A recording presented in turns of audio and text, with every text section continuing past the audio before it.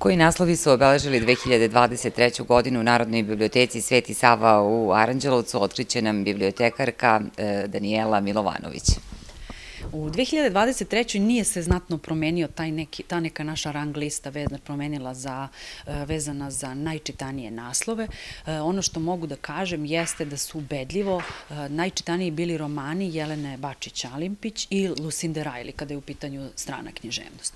Bilo je tu dosta i romana koji imaju neke svoje faze, rekla bih, zavisnosti od toga da li je autor objavio novi roman, pa se onda čitaju i stari, kao što je, na primjer, Ju Nezbe ili Stephen King, koji se definitivno uvek čitaju, to su standardno dobri krimići koji polako prerastaju i u trilere, a sve ostalo je nekako standardno, uključujući i lektire. Znači, u zavisnosti od oba godine imamo klasike koje se rade, ima nekih romana koji su sada uvedeni lektiru, što mene raduje, pa se vezano za to čita i nešto drugo, kao što je Dorotej Dobrela Nenadića i onda deca kojima se ta knjiga dopadne pročitaju možda još nešto drugo, tako da nam se ne menja taj nek, ta neka rang lista.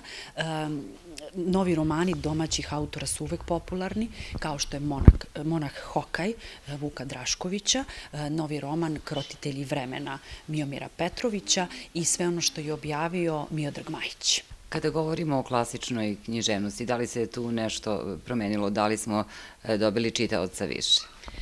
Ne bih ja baš to tako definisala, ali je to neki standardni broj srednjoškolaca koji čita klasičnu literaturu. Nekada neko od penzionera poželi da se podsjeti nekih dela koje su čitali kao mladi, da vidi da li će ih drugačije e, doživeti, ali e, što se klasičnih romana tiče, znači klasika svetskih, najčešće su u pitanju oni koji to moraju da čitaju. E, nije da je to nešto loše, čak šta više to može da bude uvod u neku, neki novi čitalački poduhvat, ali u principu mnogo više se čita ono što mi zovemo beletristikom. Kako ste započeli 2024. godinu kada govorimo o najčitanijim E, naslovima? E, prošlo je prilično malo vremena, ali za ovih nekih dvadesetak dana e, moram da kažem da su nas da učenici osnovnih škola prijatno iznenadili. Oni su najaktivniji i uglavnom su čitali lektire. To su najčešće autori za decu, odnosno dela za decu, Jasminka Petrović, Vesna Aleksić, Dejan Aleksić, to je me vratno bila zadata lektira, kao i naš onaj obožavani roman Hajdi Johane Špiri, a kada su u pitanju pitanju e, domaća dela, e, pošto je opet to bila lektira, tu je Dorotej definitivno neprikosnoven kada je u pitanju znači, ovih 20 dana.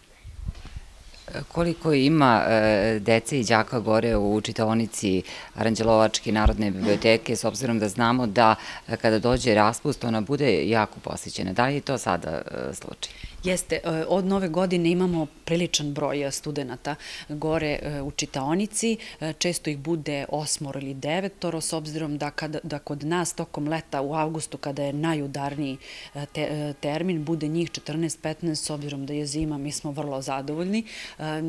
Trudimo se da im obezbedimo što više prostora, pomeramo, dodajemo stolove, pomeramo, zavisi kako njima odgovara. Oni, ja se nadam, se ovde osjećaju vrlo udobno, nemaju nikakvih smetnja smetnji. E, mogu samo da podsjetim sve da je radno vreme čitonice od 9 do 18 sati. Pritom mi nismo rigorozni. Ako imamo studente kojim odgovara da dođu ranije, pustimo ih i ranije da dođu u čitonicu, mogu da ostanu i neki minut kasnije, ali važno da odu na vreme, da mi možemo čitonicu da sredimo za sutradan. Da li vredno i marljivo uče?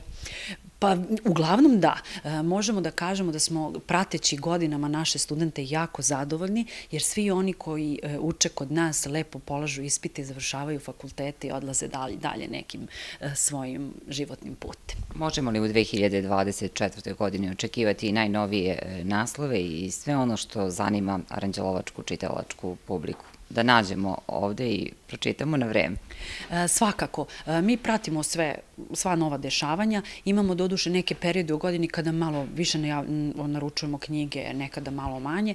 Najčešće to radimo tako što e, skupljamo zahteve, pratimo ono što se dešava na, na literarnoj sceni Srbije i onda u nekom trenutku poručimo to što nas zanima, tako da imamo te periode kada ima više novih naslova, ali uglavnom to se stalno menja. Znači u svakom trenutku kada dođete u biblioteku ima, od, ako ne drugo, onda ovde u našim izlozima jedno 50 naslova najnovijih koji su kod nas došli, mislim, može da se desi da je knjiga objavljena prošle godine, jer smo mi nabavili ove, ali uvek imamo i novih romana i ono što ja uvek volim da istaknem, imamo veliki, veliki broj knjiga koje stoje i čekaju neke svoje čitaoce, iako nisu u izlogu, iako nisu objavljeni prethodnih par godina, ne znači da nisu dobri, da im ne treba posvetiti pašnju.